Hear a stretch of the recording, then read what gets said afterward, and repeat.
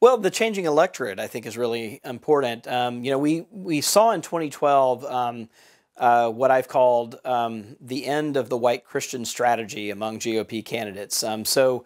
Uh, what we saw with Mitt Romney is he was, very, he was, actually he and his pollsters were quite surprised that he lost. I mean, all of their internal polling was telling them, with, the assumptions they had, that, that, he was going to barely eke it out in Ohio and then win the election, uh, and he didn't. And and uh, the post-election analysis that we and others have conducted basically showed that um, if he had had the same electorate that George W. Bush had um, in 2004, he would have won.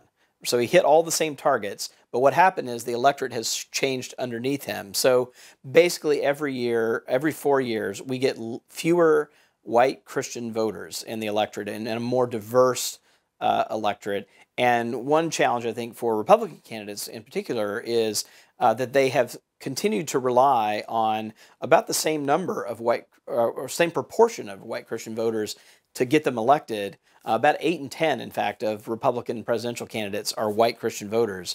Um, and wh- whereas uh, in, uh, um, uh, uh, President Obama relied on less than four in ten white Christian voters to get him elected. And so I think it's that tension uh, that that I, I'm really kind of watching in the election